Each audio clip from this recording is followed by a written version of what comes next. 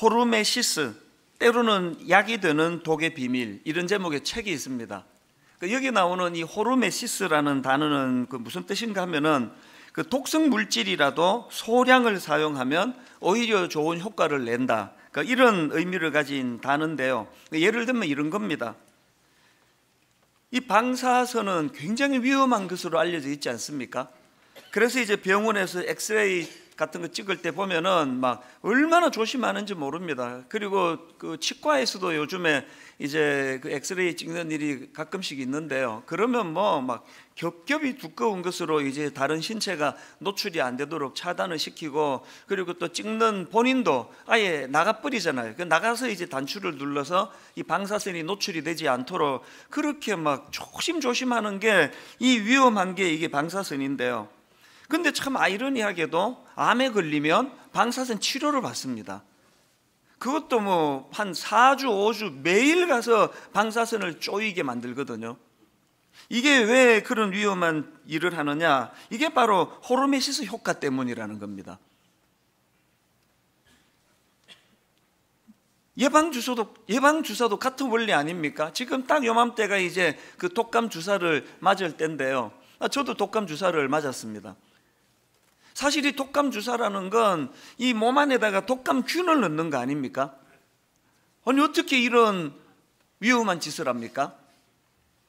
왜 독감 주사를 독감균을 몸 안에 그렇게 소량을 어, 집어넣느냐 하면 이게 바로 호르메시스 효과 때문이라는 겁니다. 이 비슷한 개념으로 그 외상 후 성장이라는 용어가 있는데요. 아마 외상 후 스트레스 장애 뭐 트라우마 이런 말은 막 엄청 많이 쓰고 또 많이 또 듣고 하시겠지만 반대되는 이 외상후 성장이라는 용어는 아마 처음 들어보신 분이 많으실 겁니다.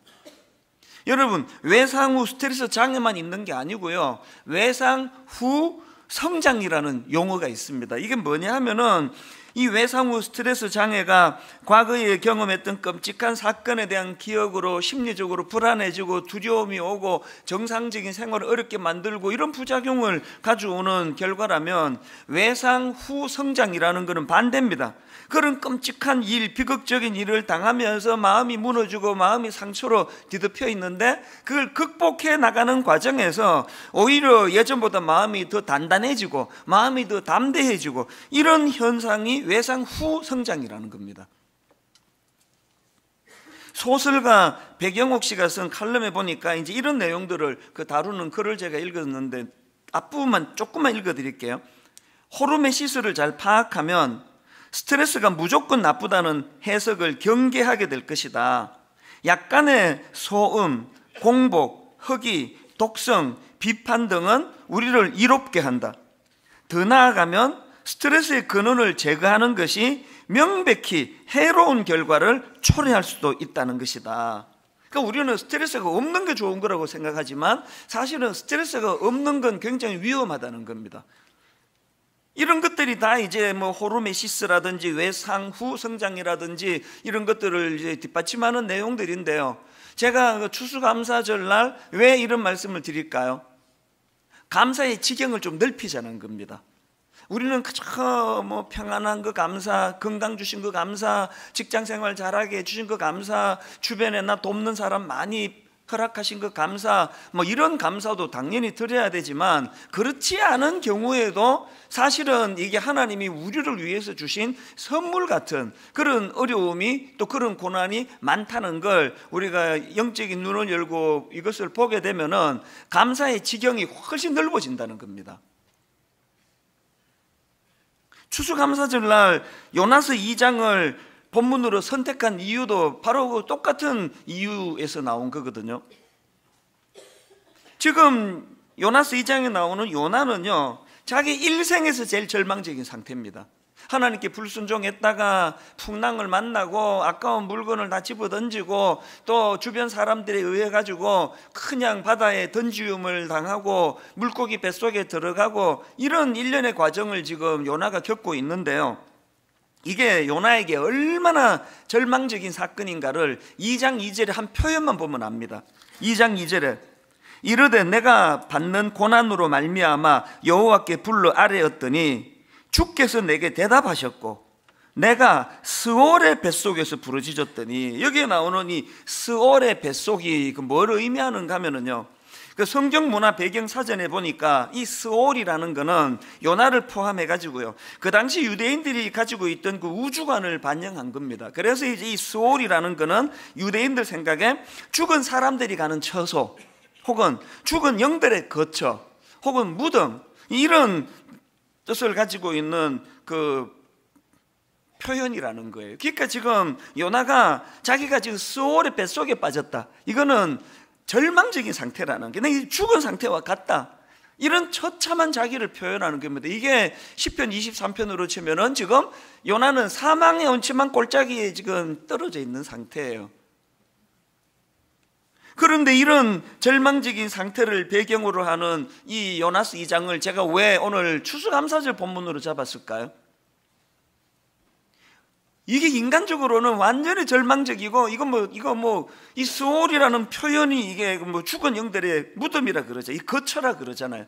이, 이게 희망이라고는 눈 씻고 볼 수 없는 이런 절망적인 상황인데 사실은 요나에게 있어서 이런 끔찍한 스올의 뱃속이 요나를 너무나 성장시키고 요나의 타락과 변질을 막는 하나님의 축복이더라는 겁니다. 그래서 저는 이 말씀들을 묵상을 하면서 예수 믿는 우리에게 책임이 뭐냐 하면은요.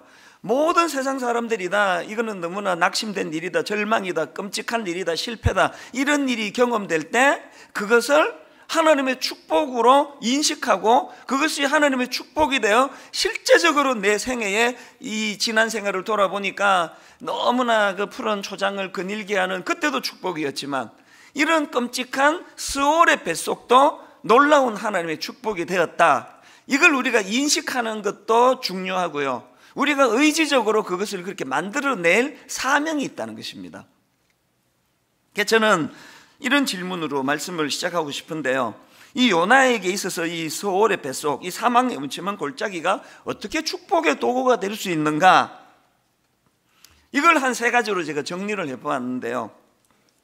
요나에게 스올의 뱃속이 축복의 도구가 될 수 있었던 첫 번째 이유는 바로 그 스올의 뱃속이 요나로 하여금 하나님을 진지하게 찾는 도구가 되게 했기 때문입니다.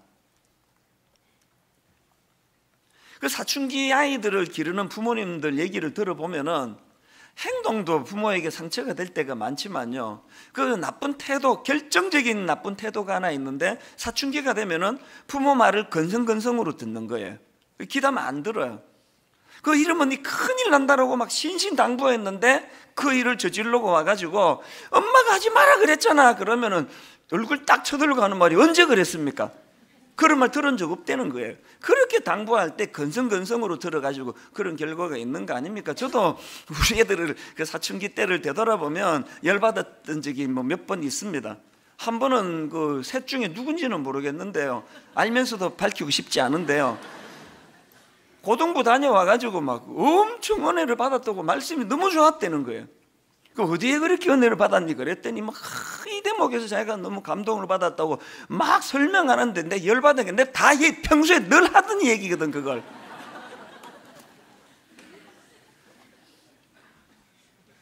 자기 아빠가 설명할 때는 건성건성으로 듣고 뭐또 건성으로 들으니까 막 맨날 잔소리 한다 그러고 뭐 아, 아빠는 말이 많아 말이 많아 이러면서 안 듣다가 똑같은 내용을 그 다른 목사님이 설교 시간에 하니까 막 그렇게 자기 인생에 그냥 도전이 됐다고 막 하, 말씀이 너무 좋다고 이러는 게 그 부모 말을 건성으로 듣는 게 사춘기이기 때문에 그렇습니다. 저는 이런 맥락에서 요나스 1장에 나오는 요나가 딱 이런 상태라고 생각해요. 세상에 저는 요나스 1장 1절이 너무 부럽거든요. 여호와의 말씀이 아미떼의 아들 요나에게 임하니라 이르시되 세상에 이것만큼 부러운 게 있습니까? 왜 새벽에 다 자는데 뭐 3시에 일어나가지고 그렇게 애를 씁니까? 여호와의 말씀이 임하기를 갈망하는 그 마음으로 그렇게 나아가는 거 아닙니까? 그런데 그 놀라운 말씀이 요나에게 임했단 말이에요.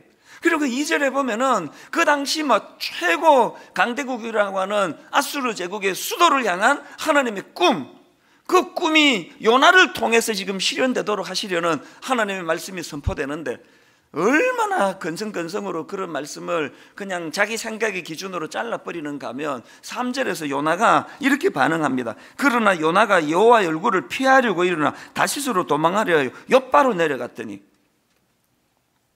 왜 그래야만 되는데요? 나 싫은데요? 반응도 없습니다. 사실 제가 그 부교육자들을 많이 상대하다가 보니까요. 뭐라고 제가 오다를 내리면 꼭 거기에 토를 다는 사람이 있어요. 뭐 해달라고 이렇게 메일을 보내고 나면은 와가지고 왜 해야 되는데요?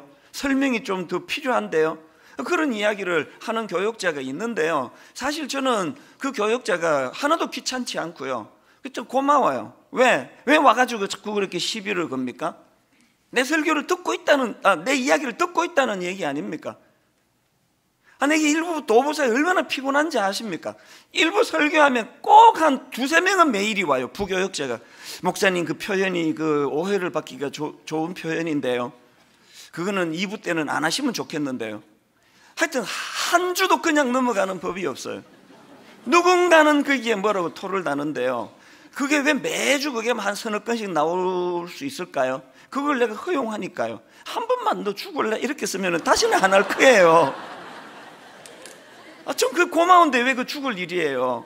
그게 뭐 어떨 때는 에이 이게 뭐난 모르고 뭐 이런 말이나 다 아는데 싶어도요. 항상 너무 고맙다고 답을 써. 그리고 또 앞으로 계속 이런 지적을 좀 해주기 바란다고 그렇게 답을 보냅니다. 그 교육자가 왜 고맙습니까? 첫째, 저를 위하는 마음이 있고요. 그리고 제 설교에 귀를 기울였다는 거 아닙니까? 그래 놓으니까 자기 생각에 어 이건 아닌데 하는 게 나올 수 있는 거거든요. 제가 참 나쁜 교육자라고 생각하는 교육자는요, 제겐 너무 순둥이들이에요. 뭘 해도 알겠습니다. 이 말밖에 안 하는 교육자를 사실은 별로 안 좋아해요. 깊이 안 듣는다는 소리거든요. 여러분 지금 여러분 요나스 일장에 요나 같은 분들이 꽤 많은 거 아시나요? 더군다나 하나님 입장에서 내가 하나님 같으면 요 대목이 굉장히 상처가 되겠다는 부분이 바로 그 9절인가 그런데요. 9절을 보세요. 1장 9절. 세상에 그렇게 하나님 말씀을 건성건성으로 듣던 요나가 아, 주변 사람이 네 도대체 어떤 사람이냐 그러니까 하는 말이 이렇습니다. 그가 대답하되 나는 히브리 사람이요 바다와 육지를 지으신 하늘의 하나님 여호와를 경외하는 자로다. 내가 하나님 같으면 엄청 내가 열받았을 것 같아. 상처받았을 것 같아. 이게 지금 하나님을 경외하는 사람의 태도입니까? 문화가 크리스찬인 사람이 있어요. 늘 난 크리스찬이라고. 그나 하나님 믿는 사람이라고. 난 하나님을 경외하는 사람이라고. 그런데 행동은 일장의 요나 같아요. 여러분 진짜 하나님 말씀에 경청하세요? 정말 하나님이 말씀하기를 갈망하세요? 말씀 안 하던데요. 왜 안 하시겠습니까? 그 사춘기애처럼 하나님 말씀을 그냥 건성건성으로 들으니까 그런 거 아닙니까? 요나에게 스월의 뱃속이 왜 축복이 되는지 아십니까? 스월의 뱃속을 경험하면서 요나의 태도가 완전히 달라졌습니다. 자, 우선 2장 1절을 보십시오. 요나가 물고기 뱃속에서 그의 하나님 여호와께 기도하여 요나셋이 처음 나오는 이야기예요, 지금. 그 다음 2절도 보십시오. 이르되 내가 받은 받는 고난으로 말미암아 여호와께 불러하려 했더니 1장에서 눈 씻고 찾아보기 어려운 대목이에요. 또 그 다음도 주께서 내게 대답하셨고 내가 소월의 뱃속에서 부러지졌더니 4절은 더 놀라워요. 내가 말하기를 내가 주의 목전에서 쫓겨났을지라도 다시 주의 성전을 바라보겠다 하였나이다. 여기 나오는 주의 성전은요, 이 하나님이 임재해 계시는 곳을 상징적으로 표현하는 거예요. 요나의 태도가 뭐예요? 하나님이 무슨 말씀을 하든 건성건성으로 듣고 뭐 그건 싫은데요. 나 그 나라 별로 안 좋아하는데요. 뭐 정반대길로 도망가 버리고 그렇게 하나님 말씀을 무시하던 요나가 이제는 어떻게 태도가 달라졌습니까? 너무나 하나님을 의지하고 하나님을 의뢰하고 뭐 하나님이 임재해 계시는 그곳을 내가 바라보기를 원한다고 그렇게 고백을 하는데 어, 요나가 어떻게 이렇게 달라졌나? 7절에서 자기 말로 이렇게 설명을 합니다. 2장 7절에서 그 이유를 이렇게 설명합니다. 왜 이렇게 됐냐고요? 내 영혼이 내 속에서 피곤할 때에 내가 여호와를 생각하였더니 여기 나오는 내 영혼이 내, 내 속에 피곤할 때 할 때 이 피곤이라는 단어는 엄청 이 원어로 보면 센 단어예요. 그냥 뭐 어, 오늘 뭐 일 좀 했더니 피곤하네 이 단어가 아니에요. 절망적인 상태예요.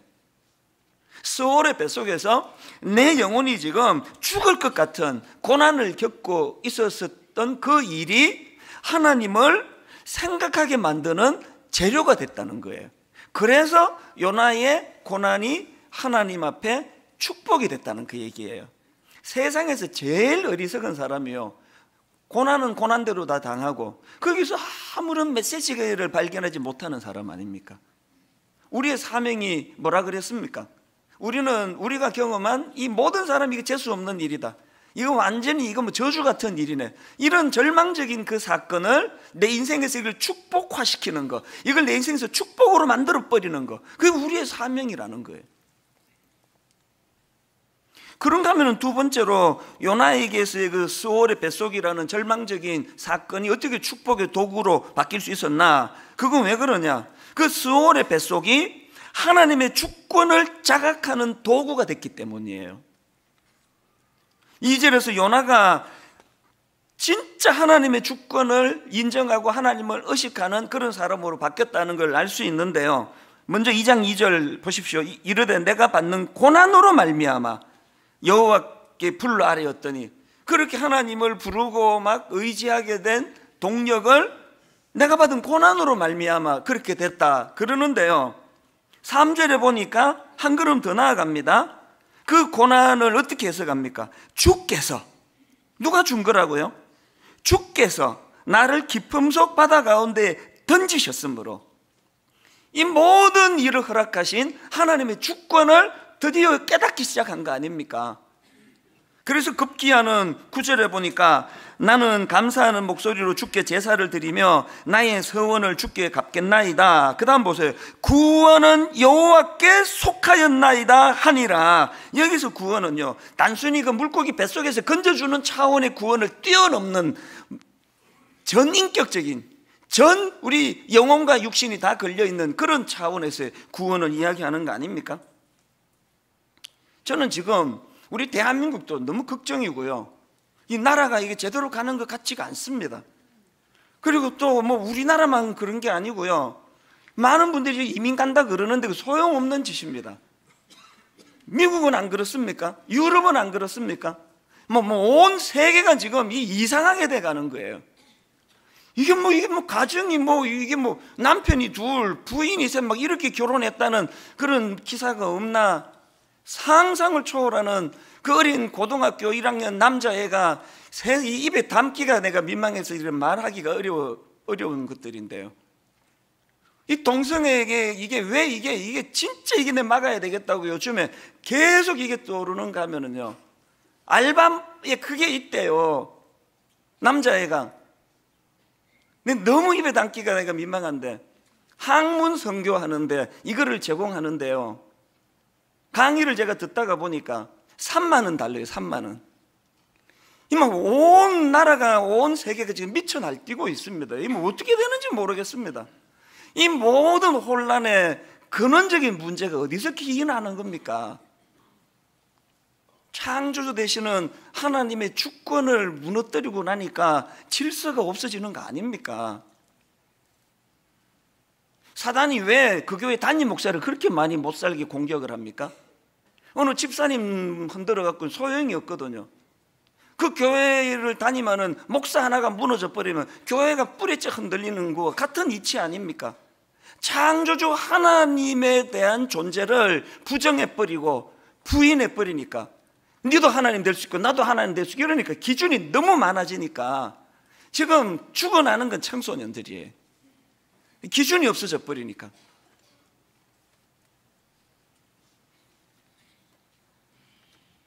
우리가 경험하는 이 아픈 사건이 스올의 뱃속이 그 하나님의 주권을 자각하는 도구가 돼야 된다는 거. 그 저도 최근에 뼈저리게 이거를 절감했는데요. 뭐 모든 분들이 다 지난 한 해를 되돌아보면 뭐 다사 다난했다 이런 표현을 쓰실 만큼 우여곡절이 많으셨겠지만 저도 마찬가지 아니겠습니까? 저희 가정에도 지난 7월 달에 참 당황스러운 일이 일어났지 않습니까? 제 아내가 암 발병했다는 소식을 듣고 엄청 당황했고요. 사실 그 순간에는 너무 당황이 되고, 어 나한테도 이런 일이 생기네. 그 굉장히 그것들이 좀 많은 생각을 가져다 줬는데요. 이 혼란을 평정하는데 그렇게 길게 오래 가지 않았습니다. 한 석 달쯤 지났는데 지금은요, 그 사건 자체가 우리 집 가족들에게 다 잊혀졌어요. 최근에도요, 어떤 분이 이제 뭐, 이제 저보고 괜찮냐고 하면서 이제 뭐, 암, 뭐 이런 말은 민망하니까 이제 그런 표현 안 쓰시면서 뭐, 겪으신, 최근에 겪으신 뭐 이러면 막 괜찮냐고 그러는데, 이해를 잘 못해가지고 제가 최근에 내가 무슨 일을 겪었지?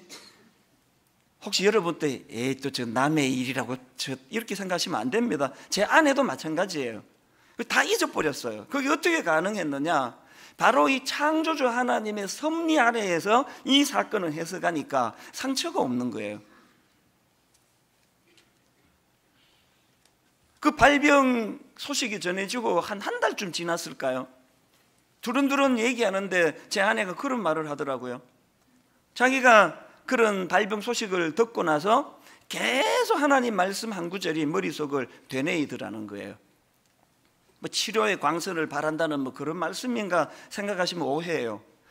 암 발병 소식을 들은 제 아내에게 주신 하나님의 말씀 계속 머리를 맴돌게 하는 하나님의 메시지는 놀랍게도 이사야 40장 1절이에요. 너희는 너희의 하나님이 이르시되 너희는 위로하라 내 백성을 위로하라 이 생뚱맞은 거 아닙니까? 위로 받아야 되는 상황인데 본인이 지금 걸렸는데 하나님이 계속 그 말씀을 주신다는 거예요. 너희는 위로하라. 내 백성을 위로하라. 담임 목사 부인으로서 자기가 그 일을 겪으면서 하나님이 뭘 깨닫기를 원하시느냐? 분당 우리 교회 안에 오늘 대한민국에 암으로 투병하는 수많은 성도들이 있다. 너의 이 사건이야말로 목사 아내로서 내 백성을 위로하라는 하나님의 메시지로 이 사건을 들어야 된다고. 그러니 그 사건이 자기를 절망으로 몰고 가기보다는 비장해지는 거 아닙니까? 이 사건이 내 백성을 위로하라 하시는 주님의 뜻이 담겨 있는 사건이라면 조금의 과장이 없이요.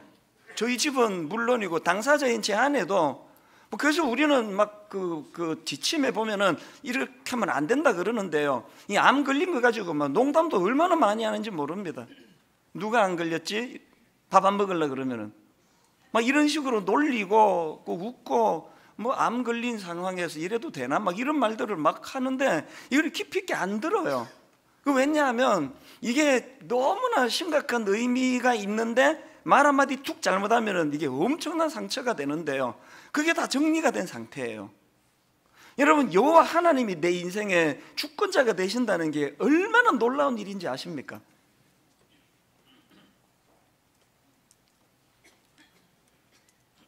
본인의 그 발병 소식을 듣고 너희의 하나님이 이르시되 너희는 위로하라 내 백성을 위로하라 그 아픈 일이 사명으로 성화될 수 있다는 거 오늘 본문에 요나가 딱 그 내용을 지금 고백하는 대목이 있습니다 요나스 2장 9절 나는 감사하는 목소리로 주께 제사를 드리며 나의 서원을 주께 갚겠나이다. 나는 감사하는 목소리로 주께 제사를 드리며 나의 서원을 주께 갚겠나이다. 구원은 여호와께 속하였나이다 아니라 구원은 여호와께 속하였나이다. 나는 하나님의 온전한 주권 하에 이런 일이 일어난 줄로 믿습니다. 하나님 아버지, 내가 지금 스월의 뱃속에 갇혀 있는 이 사건을 통하여 하나님이 저에게 주시는 메시지가 발견됐기 때문에 요나는 두 가지로 그것을 성화시킵니다. 감사로 그것을 나아갑니다.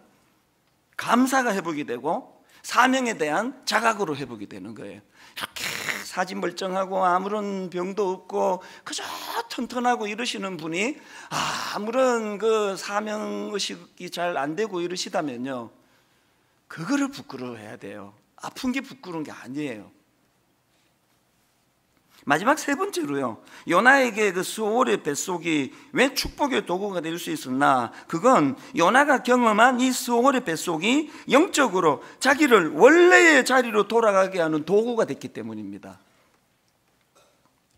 이 하나님의 고난이 꽤 많은 이런 효과를 가져온다는 거 다 아실 거예요. 탕자의 비유에 나오는 둘째 아들의 문제도 똑같습니다. 그 못된 놈이 그 아버지 재산 다랑방탕하게 쓰고 나중에는 먹을 게 없어가지고 그 가뭄에 그 돼지우리에서 지금 돼지 쥐염 열매를 먹고 있던 절망을 경험합니다. 그게 누가복음 15장 15절인데 내용을 한번 가만히 보세요. 가서 그 나라 백성 중 한 사람에게 붙여서 하니 그가 그를 들로 보내어 돼지를 치게 하였는데 그가 돼지 먹는 쥐염 열매로 배를 채우고자 하되 주는 자가 없는지라 이에 스스로 돌이켜 이르되 세 번역으로 보니까 그제서야 그는 제정신이 들어서 여러분이 돼지 우리는 탕자에게 그제서야 제정신이 들게 하는 하나님의 도구였다는 거예요. 그래서 이 돼지 우리는 탕자에게 축복의 장소예요. 자기 인생에 가장 수치스럽고 자기 인생의 그 부잣집 아들이 가장 머릿속에 트라우마로 남을 수밖에 없는 그 사건이 평생의 축복의 장소가 돼. 왜? 그 돼지우리의 끔찍한 주염 열매의 기억이 제자리로 돌아가게 하잖아요. 아버지 집으로 돌아가게 하잖아요. 오늘 여러분 여러분의 고난을 한탄만 하지 마시고요. 그게 제자리로 돌아가게 하는 도구가 된다는 사실을 인식하게 되시기를 바랍니다. 요나도 마찬가지 아닙니까? 그 요한계시록 2장에 보면은 주님께서 에베소 교회를 꾸짖는 대목이 나옵니다. 2장 4절 5절. 그러나 너를 책망할 것이 있나니 너의 처음 사랑을 버렸느니라. 그러므로 어디서 떨어졌는지를 생각하고 회개하여 처음 행위를 가져라. 요나에게 있어서 주님이 에베소 교회 성도들에게 촉구하셨던 원래 자리로 돌아가라라는 그 놀라운 주님의 명령을 실현시키는 도구가 스올의 뱃속. 그 탕자에게는 돼지우리. 그 제가 아까 인용해 드렸던 hormesis라는 그 책, hormesis 때로는 약이 되는 독의 비밀이라는 그 책의 그 소개 글에 보면은요, 그 철학자 니체의 말을 인용하는 글이 있는데요. 이 한 대목이 참 되게 많은 생각을 하게 했습니다. 우리를 죽이지 못하는 것은 우리를 강하게 만든다.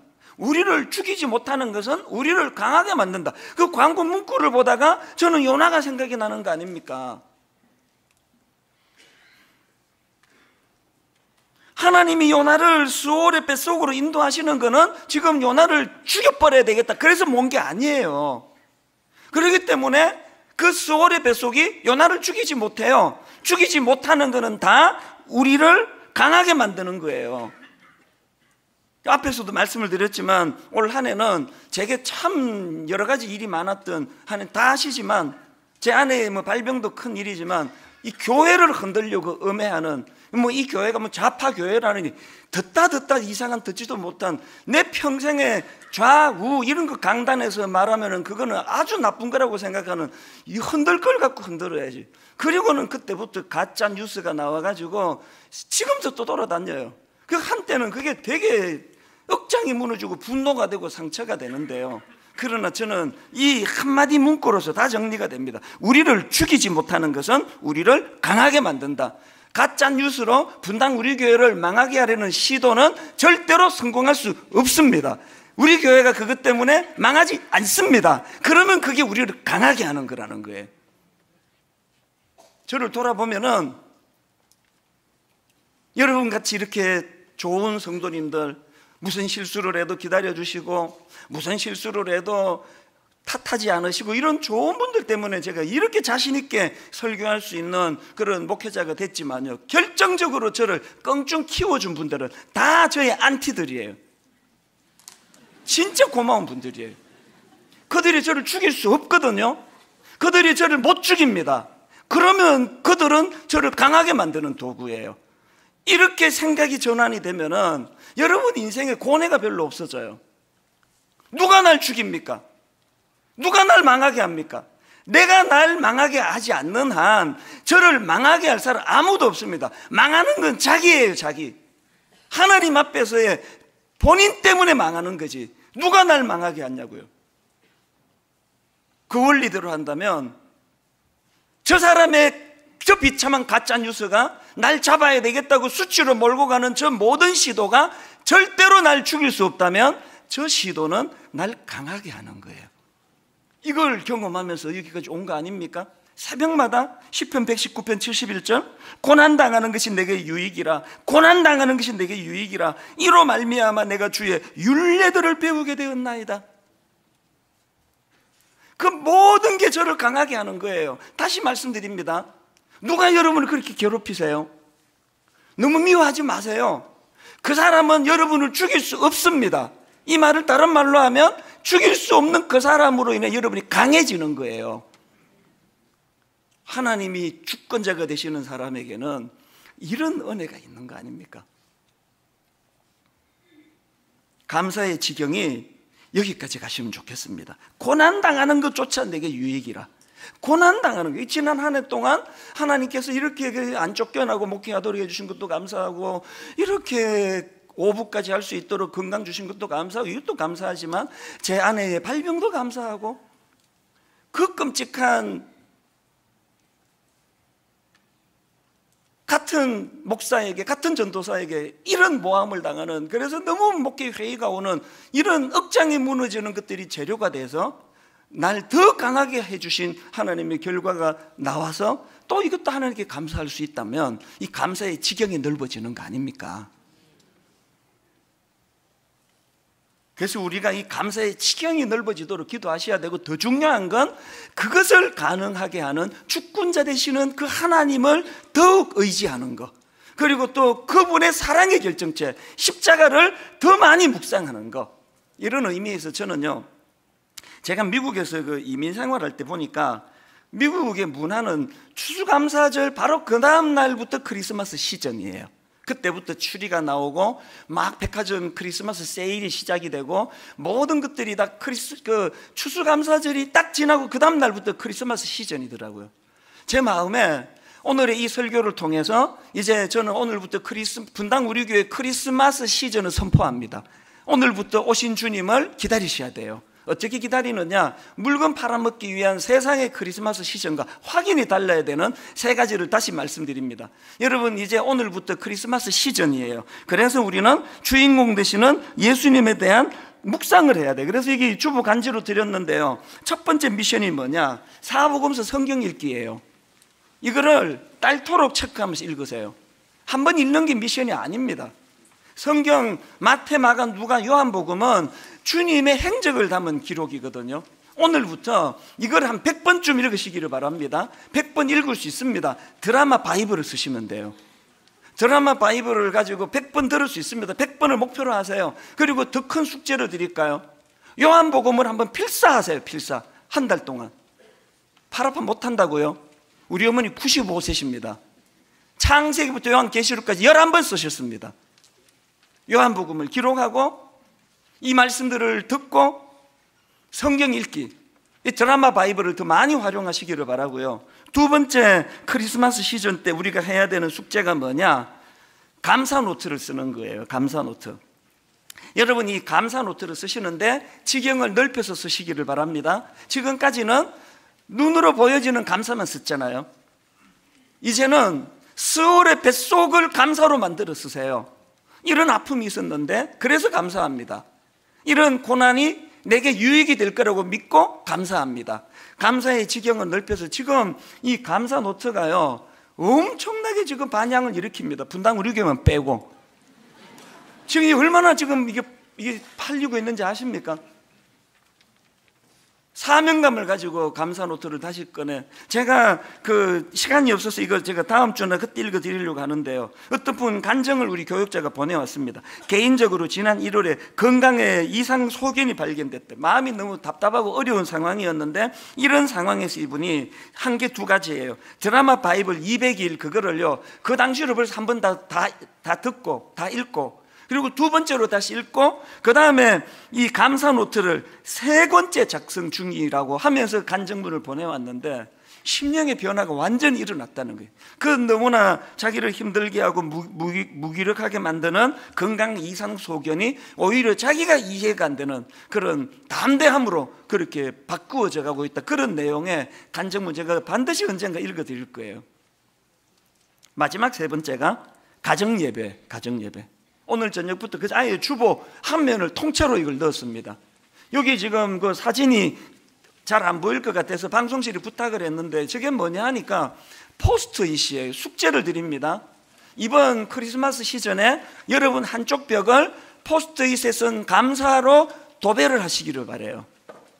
이렇게 감사하다, 저렇게 감사하다, 이것들이 한쪽 벽면 걱정하지 마세요. 포스트잇은 그 자국 안 남깁니다 벽에.